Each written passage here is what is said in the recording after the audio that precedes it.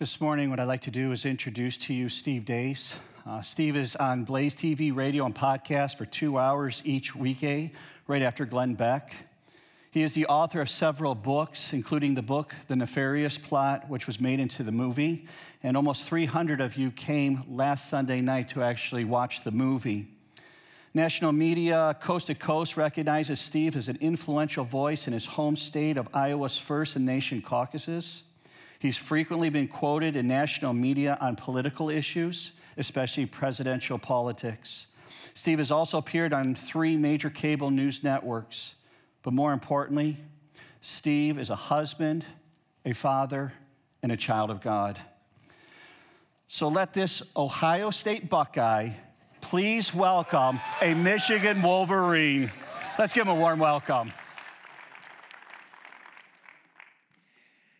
Um, I got to tell you guys, I have had the honor of terrorizing multiple churches and pulpits over the years who really made a mistake in judgment by letting me speak at them. And I have to tell you, I've, I've heard a lot of great music teams. This is one of the best I've ever heard. Okay? I mean, it is. They're really good. And it's the first time I've ever seen a fiddle and a banjo in a pulpit north of Tennessee. So props to that. All right, little redneck in the room. That's good. Okay. Um, before I get to the main message, we're going to preach out of Romans 13 this morning. There's, a, there's another matter of great importance culturally uh, that needs addressed. And unfortunately, we live in an era when the church has largely, maybe not this ministry, which is why they're dumb enough to invite me to come, uh, but the church corporately and manifestly has gone silent in the face of many great evils happening in the culture. Uh, and has decided that's not our fight Now's not the time. We're not involved in that. And, and we have seen the sorts of moral outrages and scourges that if you are, you know, I'm Gen X, if you're a boomer, you would have thought, no way I'll ever see that in my lifetime, right? You're probably saying that to yourself right now a lot. There's no way I'd ever see this in my lifetime, and yet you're seeing this right now. And one that, has, that just hasn't gotten the attention that I think it merits and we need to address it, I think, more frequently from the pulpits of America. And I think you probably know what I'm talking about.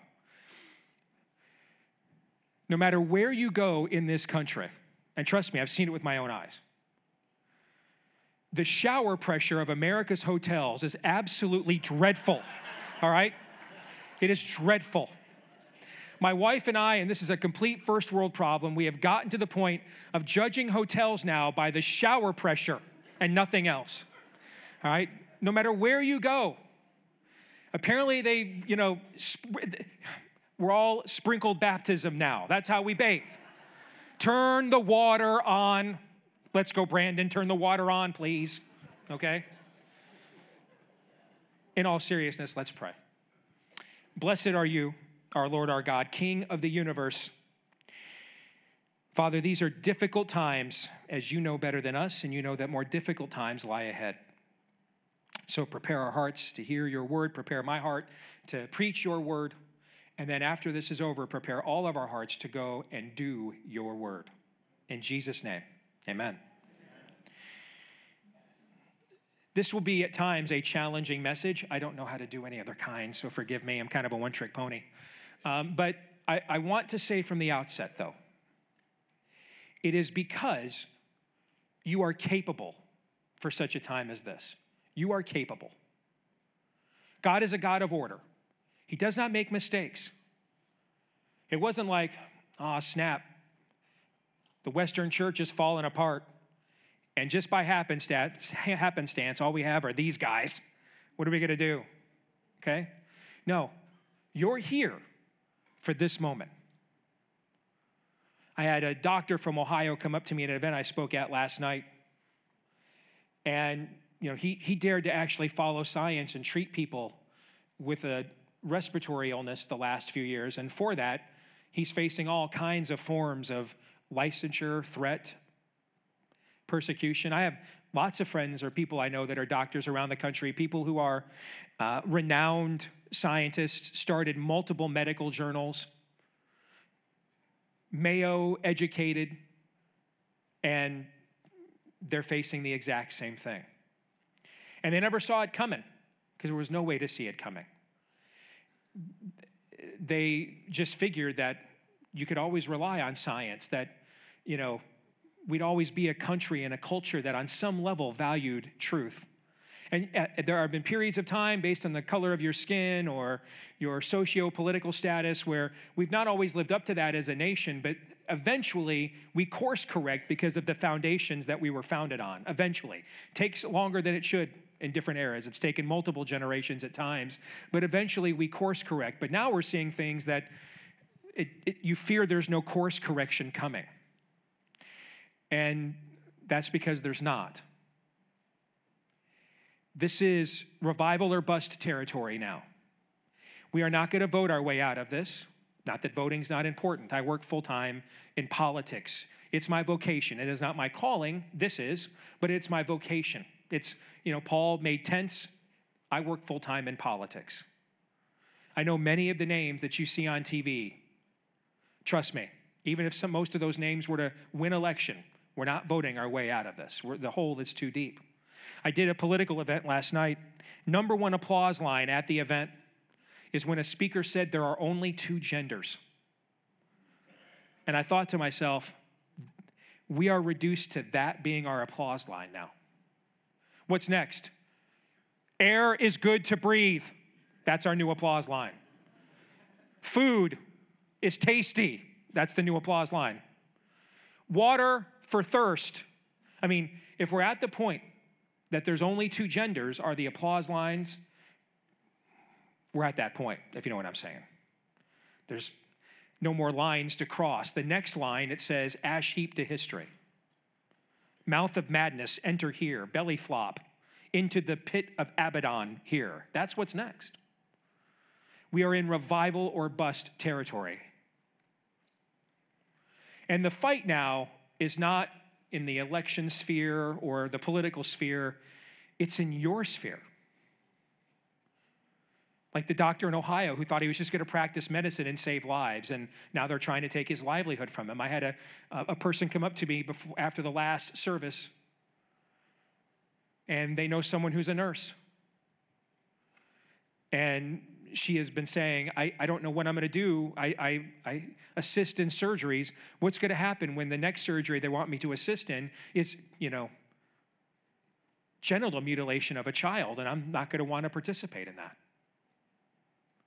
These are questions that, unless you were a certain socioeconomic status or ethnicity or a certain skin color in past eras of this country, as Christians, we never had to wrestle with except for those regretful exceptions in our nation's history. And the reason why is because this was a country originally, at least on some level, inspired by Christian thought. If you, you know, soon we're going to be celebrating Thanksgiving.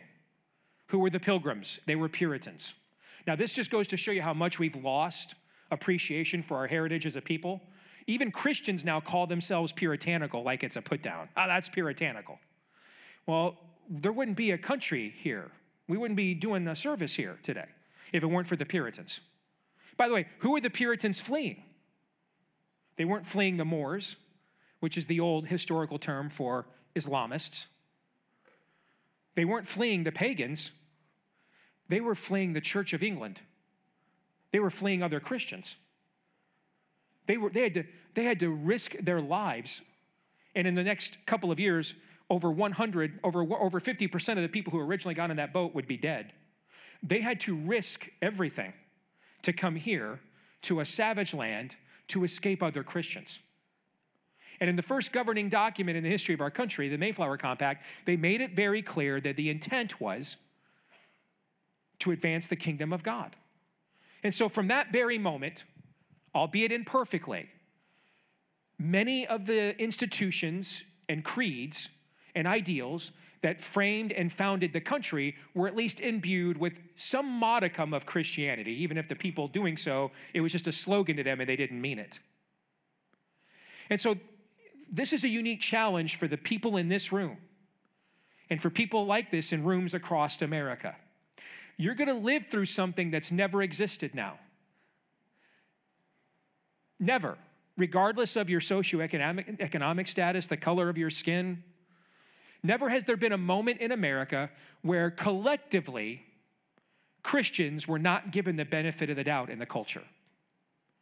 Where collectively Christianity was not the default ethic in the culture. Even the horror movies we make now. We make demonic possession horror movies. They don't even bring the priest in anymore. The new Exorcist movie, I've not seen it, I've read about it. I'm told they brought a witch doctor in. They brought Beelzebub in to cast out Beelzebub. Literally. I remember the first time I, I recognized this trend, I went and saw many years ago a movie called Paranormal Activity. I am fascinated when the culture makes films about the spiritual realm and what it will see and what it will say. It was the first time ever this couple is haunted by a demonic entity, and they end up Googling it. They call a demonologist from the university. They even ask her dad, you know, like the sign on the wall and It's a Wonderful Life, ask dad, he knows, right? Okay. They ask every possible institution of wisdom in the culture what to do with this evil that is bedeviling them, except one. Can you guess which one it is? The church. Years ago, when we used to, when our kids were little, and, we, and, and Amy's parents still lived in Grand Rapids, we used to make the trek back and forth during holiday season so they could have them with our kids. And I remember being at our, my in law's house one year, and it was when the PlayStation 3 came out. And there were massive tramplings at Targets and malls in Grand Rapids, and it was the lead story on the nightly news. And people, are, people died. And, and, and the news is asking, how could this have happened? And they're asking psychiatrists, they're asking grief counselors, academics. Do you know who was never on the screen, who was never asked? The church. No one asked the pastor, no one asked the priest. This is now fully, despite the relics of our history you see around you, this is now a fully post Christian culture. Lying to ourselves, drowning in nostalgia won't change that fact. And all of you in this room is just one human resources meeting away from, well, it's called DEI or it's called ESG. Really, it's called DEMONIC. Okay, that's really what it's called. And we're gonna kind of, if you don't mind, we're gonna kind of have you set aside that whole biblical worldview thing and bow to our idol instead. I'm sure you're okay with it. You need this check, right? All of you in this room are one HR meeting away from being in that battle. Some of you have already been in that battle. The chickens have come home to roost here. This is now systemic, and it is right down at the molecular level in our own homes now. If you have your child in a government school, you are one school day away from your child coming home and saying, You know, I spoke to my guidance counselor, and, and she told me I'm not really a he, but a she. That could happen to any of you in this room, any school day. That's where we are. The war is here. Now, we're not ready for this war. For every church like this that would dare let somebody like me come up and give you this message, there are hundreds more that would not have anything close to the spine to do it. So we're not ready. We've spent a generation being purpose driven and seeker friendly. And thus, we're not seeking after him and we've lost our purpose. But he's not surprised. And there's always, as he said to Elijah at his weakest moment, there's always a remnant. There's always 7,000 men in Israel who have not taken the knee to Baal yet. There's always a remnant. Our Lord does his best with remnants. 110 people were all that was left of the ministry of Jesus after three and a half years in an upper room. They received the Holy Spirit, and in the span of two centuries, did something that the Visigoths couldn't do, the Moors couldn't do. They conquered Rome. This country was founded by 56 signers of a Declaration of Independence, and they ended up defeating the empire upon whom it said, The sun never sets. Our Lord does his best work with remnants. One 29 year old Baptist seamstress got on a bus one day in Alabama, and she didn't have a large following, she didn't have a mass of money, didn't have legal representation. She got on a bus one day and they told her, go sit in the back, and she uttered just one word. That's all she said was one word. Didn't give him a dissertation. She said, no. And Martin Luther King Jr. said that was the spark that ignited the civil rights movement. Our Lord does his best work with remnants. That's the good news. The bad news is you're going to be that remnant. That's you. Now, you're not ready, but you are capable. And so I'm going to do what I can do here for the next 20 minutes to get you as ready as I can, or at least tee it up and make enough of you enemies of mine so that weeks from now, when your pastor has to, has to do the cleanup work, he's going to seem a lot nicer and friendlier to you, and you'll take it from him. Okay? So let's go to Romans 13. I, I love preaching out of Romans. People ask me all the time, what should I look for in a church? I, one of my pat answers is always, like, if you go, it's very seldom someone's like, hi, we're the Wiccan church of the three lesbians who love our cats and, and we deny every doctrine, come here. Very seldom do they do that, right? All right? Everybody's statement online looks like the Nicene Creed, okay? So you gotta, you know, you gotta be discerning. I always like to tell people, find out what that church is done or is willing to do with Romans. Because Romans, you can't fake your way out of Romans. Romans is the greatest, in my opinion, the greatest theological treatise ever written in human history. It is the apex of Paul's ministry with divine inspiration. It will destroy arguments against the gospel that have not even been presented yet. You could literally write every apologetic work against every form of philosophical, theological argument against the scriptures just straight out of what Paul writes in Romans. It's devastating. And so posers get exposed because it doesn't just expose arguments against the faith, it exposes those within the faith too, lest we become self righteous.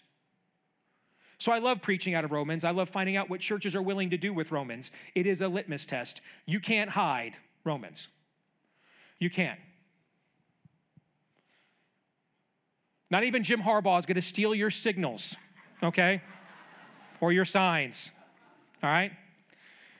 Because apparently that worked so well for you guys last year when you change your signals up. But that's another message, okay?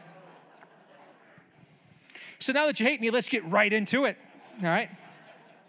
I want to start with this preface from maybe the greatest English speaking preacher who ever lived, Charles Spurgeon.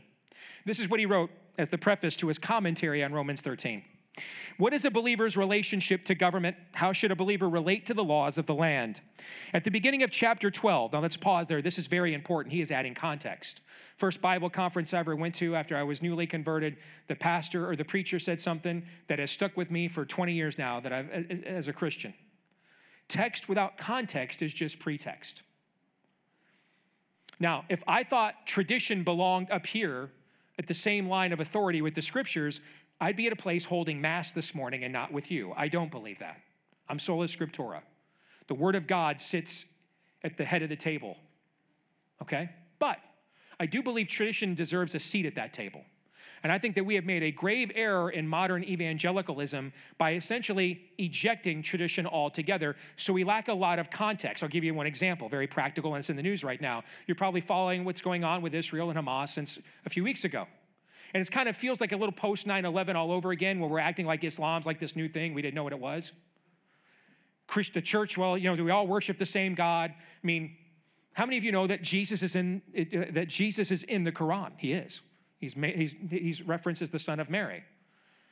The Quran actually teaches that Jesus wasn't crucified, but that Allah tricked the Jews into not killing Jesus. And so, therefore, if Jesus wasn't crucified, then he also wasn't what?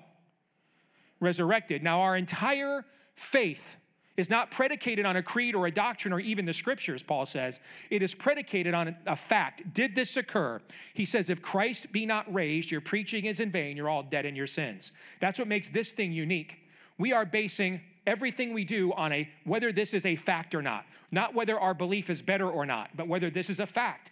Did Jesus, was there a, was there a carpenter from Nazareth who was physically dead and on the third day walked out of there like a boss? Did that happen or not? Did he walk out of that tomb or not? If he did, listen to everything him and his followers have to say. If he didn't, don't. It's that simple. Well, we can't possibly worship the same God when one religion says he wasn't crucified and the other religion says God was crucified and resurrected. So we're acting like these, this stuff is all brand new. Did you know in the seventh century, a guy named John from Damascus actually traveled throughout the Middle East, the Fertile Crescent, having debates at the dawn of Islam with sheiks and caliphs about their beliefs versus Christianity. Nothing new under the sun, just new people under the sun who haven't heard it yet. But we don't teach that tradition anymore. We don't know that history of our faith anymore. And so we've kind of turned the Bible in like this theoretical exercise that's not really actually applicable. Tradition is good. It is good to learn from the mistakes of previous generations and from their successes. For example, boomers make much better music and much better movies than my generation has made so far. Should have learned from that, okay? It is good. I mean, you probably taught your kid how to ride a bike or catch a baseball like you were taught. You probably have grandma or nana's best banana bread or chocolate chip cookie recipe. That's tradition. And so that's context. So Paul is saying we cannot look at Romans 13 isolated. We have to look at the previous chapter. Remember, chapters did not come into the Bible till like the 12th century, guys. And so when Paul's letters were read, they were not read. No one stood up and said, Lydia didn't stand up and read the, and Tabitha didn't stand up and say, This is chapter four. No, they just read it as a letter. Read the whole thing as a letter. And so in chapter 12, Paul talks about the renewing of your mind. And that when you now have a biblical worldview, there will be conflicts with the world. That's unavoidable. And that you are to actually represent that conflict and that that conflict will come to you even if you try to avoid it just by living out what you believe. Even if you don't directly confront people even if you're not as even if you don't enjoy being confrontational as much as i do the confrontation will come to you just because of the testimony of what you represent and whom. So it's with that context spurgeon goes on. Paul called upon believers to not be conformed to the world but transformed by the renewing of their minds in the remainder of the chapter, Paul provided several important examples of what a renewed mind would look and act like. As believers, we are not to be conformed to the mindset of this world, yet there remains in this world vestiges of God's rule through the institutions he has ordained. Lewis once observed the fact that almost every major religion has a lot of similar moral codes is emblematic of the fact that we all come from one singular creator. Spurgeon is touching on that here. Even pagan institutions, if they have any morality, are acknowledging God. This is what Paul would say when he said, A law unto ourselves. We know. We know what is right and wrong. We know. Raise your hand if you've ever had to teach your kid how to use the word no. No. Never teach your kid how to be selfish. Ever just, mom's gotten together here at the mom's group. Ah, my kid's just not selfish enough walk through an airport or a mall and you see someone bowed down with their little baby or their little toddler. All right, Timmy, say it with me now. No, you can do it. No. They just know. No. Because we're sinners. Even though they're adorable, they're still sinners. We don't have to be taught to be selfish, we have to be taught not to be. Spurgeon says two very important institutions that have been ordained by God and look at the two that he mentioned. Man, this is the 19th century he's writing this. He says two that have been that are very important that are ordained by God are marriage and civil government. Marriage and civil government. Huh. We have any conflicts between marriage and civil government in our day and age? No. Hmm. Now, why are those two important? Because marriage would populate the earth, but also that's the first form of government the first understanding of heritage and legacy that any human has or is neglected to get access to, as someone like me whose biological didn't bother, is family. And then ultimately, on a corporate level, government is to punish human sinfulness. Think I'm wrong. Okay. Some of you, how many of you believe you can't legislate morality? Well, I'm here to tell you that's the only thing you can legislate. Every piece of legislation is someone's morality. Paul writes in Romans 13 Let every person be subject to the governing authorities, for there is no authority except from God, and those that exist have been instituted by God. Therefore, whoever resists the authorities resist what God has appointed, and those who resist will incur judgment. If you've been in an evangelical church that actually is still preaching Romans in the last 50 years in America, and when they came upon Romans 13, they probably just did their entire message on that part and didn't teach you the rest. That's out of context. One of the great Bible teachers of this era is John MacArthur. His church is featured in a film that's out right now, The Essential Church. And it talks about his church and others in California doing battle with Governor Newsom during COVID about whether they can be open or not. Well, the problem is, instinctively, John and his elders know that what the governor is doing is wrong. But here's the problem John taught for decades that the American Revolution was a violation of Romans 13. By the way, the colonists, our founders, they actually debated Romans 13 amongst themselves. Remember, Christianity was hev- heavily influential in American culture. And there were great debates. They had people that were called Anabaptists, who were basically pacifists, Mennonites or Quakers in places like Pennsylvania who didn't believe you could take up arms against the state no matter what. They actually did debate this amongst themselves. And you see allusions to this in the Declaration. For example, when Thomas Jefferson writes, Lord, he asked God to judge the rectitude of our actions, meaning motivations. Meaning, if we have wrongly divided your word, if we are in violation of the, your laws of nature, and what we're doing, if this revolt is wrong, do not let it succeed. Do not let us set a terrible example for, the, for posterity. That's the language of the Declaration. They debated this themselves. Well, MacArthur taught for decades that the American Revolution was a violation of it. And now suddenly, his church is square in the crosshairs. And so you see in this film that him and his elders, they go back, they re examine Romans 13, they look at commentaries on Romans 13. And here's the thing you find about Romans 13 it was written by who? Paul, which means who knows what it meant? Paul, because he's the author. I know we live in this era of deconstructionism or even reconstructionism, that you can deconstruct someone's original words or reconstruct them to your truth and what you want them to be. But someone's words, the words mean what the author meant them to mean. And we know what Paul meant by these words by his life, and I'll get to this in a moment. And so in this film, The Essential Church, they go back and they look and they, re- they realize we've got it wrong. And we had taught this scripture wrong for decades. And now, rightly dividing the word, they end up defeating Gavin Newsom in court setting a very important precedent for future attempts to close the church, which I promise you will come, I promise. Because what happened during COVID was a test, and collectively, we failed. And so they're going to come back. To quote the great prophet Stephen King, they always come back. Let's continue. Would you have no fear over who is in authority, then do what is good, and you will receive his approval. Who determines what is good, by the way? God. So therefore, the only thing we can legislate is morality. But if you do wrong, who determines what is wrong? God. Therefore, the only thing we can legislate is morality. An avenger, for if you do wrong, be afraid, for he does not bear the sword in vain, for he is the servant of God. This is why government has power. To be an avenger, to carry out God's wrath on the wrongdoer, not to pay the debt to society, but the wrath of God. That's why government gives them this power. This is the principle of headship, something men have gotten wrong in the last generation or two of America. And because of that, we gave rise to a destructive philosophy known as third wave feminism. Headship does not mean power or authority. It means, in the kingdom of God, in God's economy, it means responsibility. If you have headship over the home, like I do over mine, it means I'm responsible for what goes on there. Things go wrong, God's coming to me first. But the authority is who? God. Is the authority the person who is the giver of the headship or the receiver of it?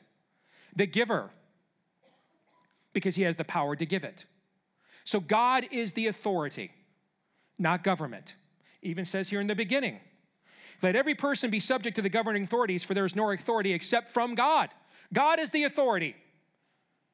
I am the head of my home, not the authority God is. If I decide after watching Breaking Bad that drug dealing is a booming business, should my wife submit to me now and become my accomplice? Is that what she should do? No, because I'm no longer in submission to whom? God. Am I the authority in the home? No. Who is? God. I am the head of the home, but that means I'm responsible. If I violate that responsibility, should my, should my wife follow me or God? God. And Paul displays this in one of his other epistles, by the way, when he says, Follow me as I what? Follow Christ. That's apostolic headship, but he's not the authority, is he? God is. Same relationship here with government. Government is the head, but it is not the authority, God is. So, what happens when there's a conflict between them? Paul answers this question later in Romans 13 in a portion of the chapter you've probably never heard a sermon from. And the reason why, here's why. You want to know what the number one problem in the American church is today? The pastors have become too soft. Nobody wants to kill them anymore. That's the number one problem. Paul writes at the end For because of this, you also pay taxes, for the authorities are ministers of God. They, I, wait, I, I thought they, uh, uh, that's where they're accountable to God? Yeah, that's kind of why we do this oath of office thing. Know, maybe you guys have seen that. How's it end, by the way? So help me, God. Yeah. Paul concludes it with this Pay to all what is owed to them taxes to whom taxes are owed, revenue to whom revenue is owed, respect to whom respect is owed, and honor to whom honor is owed. Now, this is a fleshing out of what Jesus says about render under Caesar that which is Caesar's, and render under God that which is God's. So, Paul is a very unique person, very unique. He's a Jew who's a Roman citizen. Before he even becomes the apostle Paul, he is still a handful of people that were both fully Jewish and able to access Roman citizenship. He wasn't just randomly picked by God, but specifically because he had the ability to both go to the synagogues and reason through the prophecies that Yeshua is Messiah, but also now has civil liberties and freedoms to go throughout the Roman Empire and take that message to the Gentiles as well. He might have been the only one for all we know. The Romans did not cavalierly at this period of time hand out citizenship, and certainly never to Jews. So he is rare. That's why he was chosen.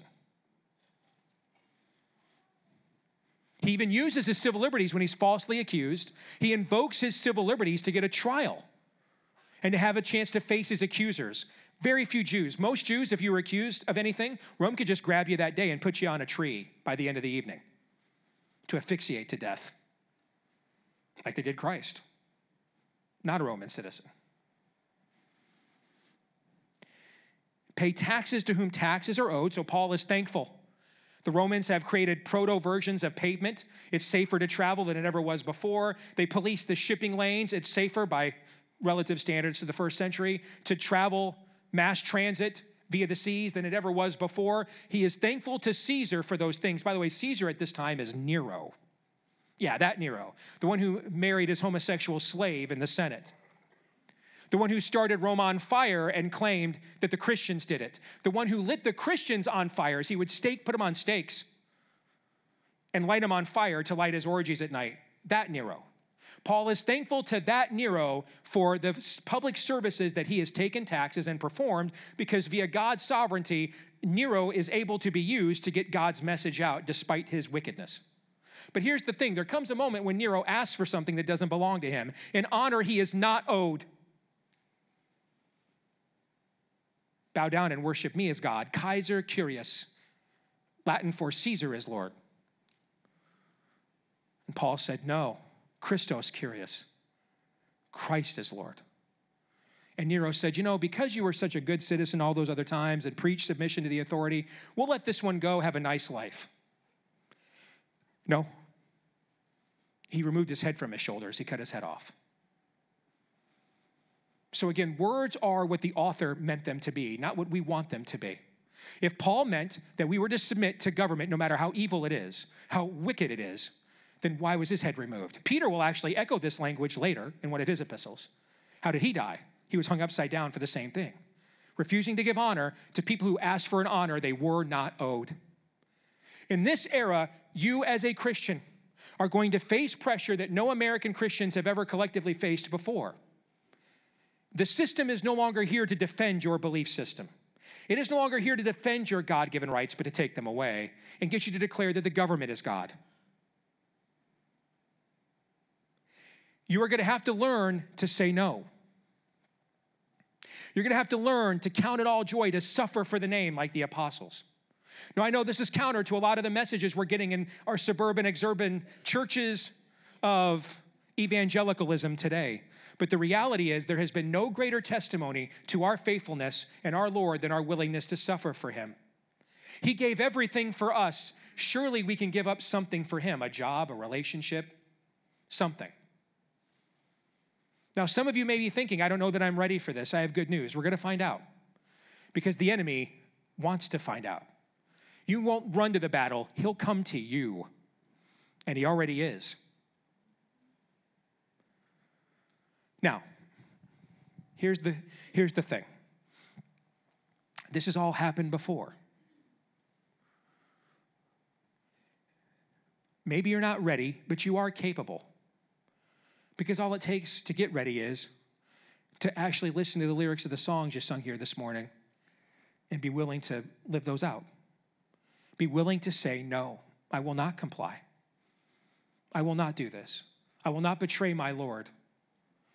There once was a monk named Telemachus, and he was assigned to visit Rome on a mission for the church, and he had never been there before. And as he enters into the, the city, uh, he here he goes by this massive structure known as the Colosseum, and he, he sees this in, uh, incredible throng of people, and he hears all this raucous cheer, and he's like, "Wow, none of that. They don't have anything like that back at uh, the monastery. I'm gonna go check this out." And he walks into the Colosseum, and he is appalled at what he sees, appalled. It's the gladiator games. He's watching people be murdered, dismembered, and he's watching crowds cheer, children as young as those sitting in the front, sitting in the, in the stands, cheering it on. And he stands up in the stands and he screams out in Latin, In the name of Christ, no, or stop, or forbear. No one can hear him. Does it again, no one can hear him. Waddles his way down to the floor of the Colosseum. And he's out there now on the dirt and he looks up at the stands and he screams out, In the name of Christ, stop, no, forbear, in Latin. Now the crowd is at attention. Now, they, now they're hearing him. And they think, well, maybe this is the intermission entertainment. Maybe this is a joke. You know, the gladiators got to get a water break before they go back to slaughtering each other, and he's meant to keep us occupied. But then he continues more adamantly, in the name of Christ, stop. And now they can tell he means it. He's serious and the crowd begins to boo and hiss loudly, turn on him. One of the gladiators takes his spear and shish kebabs Telemachus right there on the floor of the Colosseum. It kills him right there. Now, that is the end of the life of Telemachus, but the story does not end there. The rest of Rome was so appalled. This is at a time where Christianity is finally on the ascendancy in Rome the rest of Rome is so appalled at the, the savagery displayed toward Telemachus that did you know that is the last day that the gladiator games ever happened in Rome? He ended them. They never happened after that.